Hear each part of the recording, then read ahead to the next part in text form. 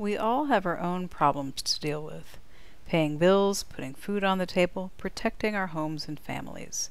These are the things we focus on, the parts of our immediate world. We all work hard to protect and maintain what is ours, those things that we care for. We typically don't feel like we have time or energy to devote to the rest of the world's problems.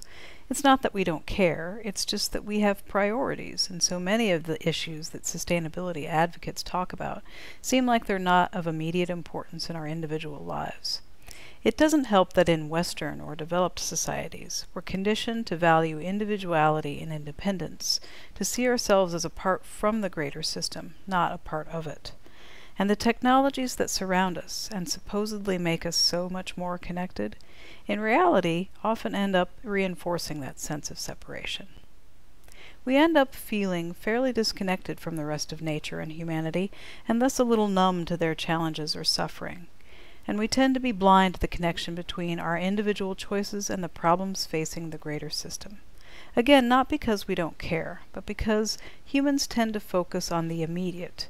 And if consequences don't immediately affect those in our individual spheres, we see them as affecting a distant other. Other species, other cultures, countries, the overall ecosystem, even future generations become them as opposed to us. We might feel bad for them, but it's not our problem. We have plenty of those already. And because of the sense of disconnection, we may feel as if there's nothing we could do for them anyway. Or perhaps on some level we don't want to think about what we might do for them because we don't want to feel any guilt associated with the plight of the other in question. But the reality is that we all are parts of in one big system of life on earth. We're all in this together. It's a cliche, but true. You are here on that tiny blue dot floating in space, and so is everyone or everything you've ever known or loved. All of the things that matter to you your individual sphere are parts of that greater system, too, and as Chief Seattle said, all things are connected. Whatever befalls the earth befalls the children of the earth. Climate change is an excellent example. It might seem as if the effects will be in the distant future, but the impacts have already begun and do touch our individual spheres. According to the US EPA, climate change can increase the frequency and intensity of severe weather events such as tropical storms or hurricanes.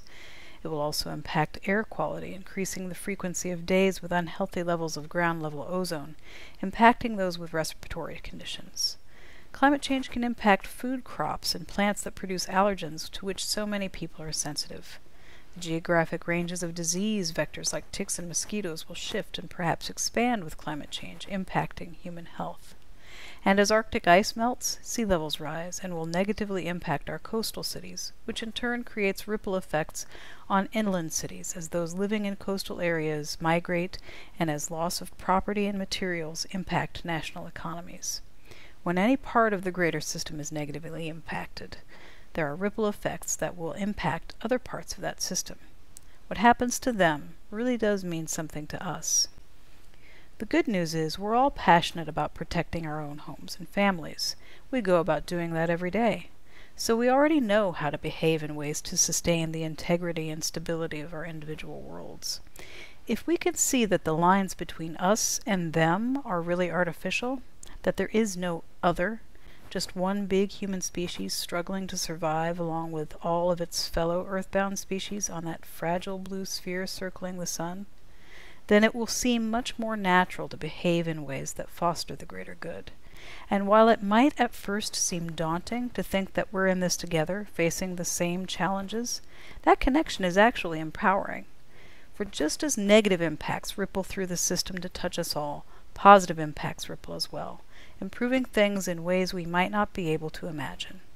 None of us has to try to save the whole world on our own.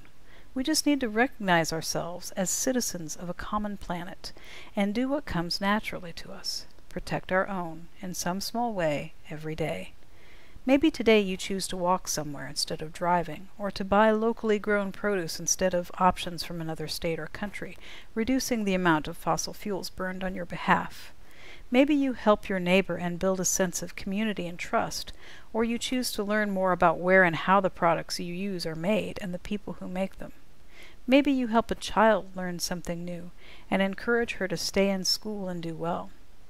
Whatever you do, with more than your immediate sphere in mind, matters. And the more things you do, the more things you'll realize you can do to foster positive impacts. Plus, you'll be an example that other individuals will want to follow. So, thank you for all you choose to do every day to make our world better. Because we are here, and we need each other to maintain the integrity and stability of our home.